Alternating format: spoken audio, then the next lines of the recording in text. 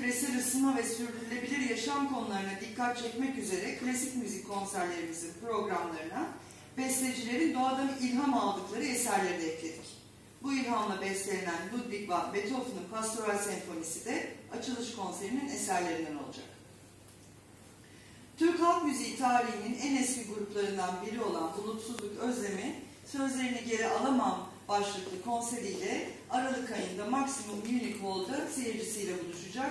37 yıldır bir ağızdan söylediğimiz şarkıların yeni düzenlemelerini Sinfoniste Oda Orkestrası'nın eşliğinde hep birlikte dinleyeceğiz ve söyleyeceğiz. Her sezon olduğu gibi bu sezonda yeni yılın gelişini 29 Aralık akşamı gala konserinde seyircilerimizle birlikte kutlayacağız. Dünyanın en önemli solistleri arasında yer alan soprano Olga Peretyatko ve parlak kariyeriyle bizi yurt dışında temsil eden tenor Mert Süngü yeni yıl gala konserimizin solistleri olacak. Bu iki eşsiz soliste Şef Murat Cem Orhan yönetimindeki Gedik Filarmoni Orkestrası eşlik edecek. Ocak ayında ise Ocak ayının ilk konseri caz ve pop müziğin sevilen ismi Fatih Erkoç, Aycan Ferizdal yönetimindeki İstanbul Superband ile iş sanat seyircileriyle bir araya gelecek. Louis Armstrong'dan Frank Sinatra'ya uzanan bir repertuarla Fatih Erkoç 6 Ocak akşamı sahnede bizimle olacak ve Erkoç'a bu konserde caz vokali Selam Beytekin eşlik edecek.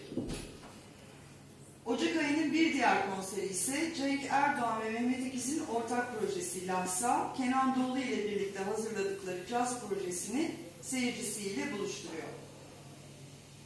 Şubat ayında ise Anadolu rock müziğinin mihenk taşlarından Cahit Berkay ve bağlama ustası Cengiz Özkan, Anadolu ozanlarının izini sürmek için ilk kez Sanat sahnesinde bir araya gelecek.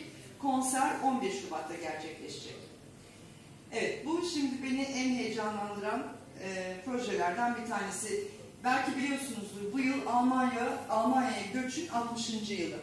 Buradan yola çıkarak Almanya başta olmak üzere Türkiye'den işçi olarak Avrupa'ya göç eden ilk jenerasyonun yaşamını, ülkelerine duydukları hasreti, anlattıkları hikayeleri ve bu hikayelerin üzerine söyledikleri türküleri sahneye taşıyacağız.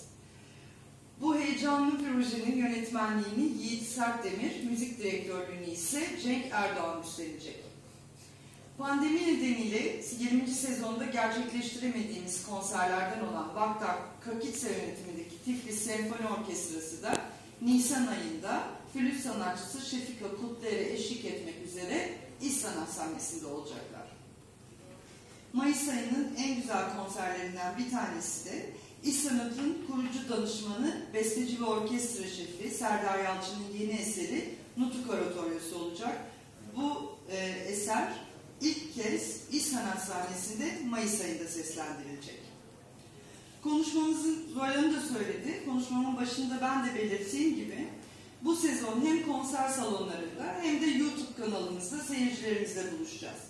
Biletli konserlerimizin bir kısmını da YouTube kanalımızda yayınlayacağız. Aynı zamanda çevrim içine özel edebiyat içerikleri, yani şiir ve hikaye dinletileri, çocuk etkinlikleri ve konserler, bunlar çevrim içine özel yapılacak ve yayınlanacak. 22. e, sezonun hibrit programında yerini alacak. Ben çok lafı uzatmak istemiyorum.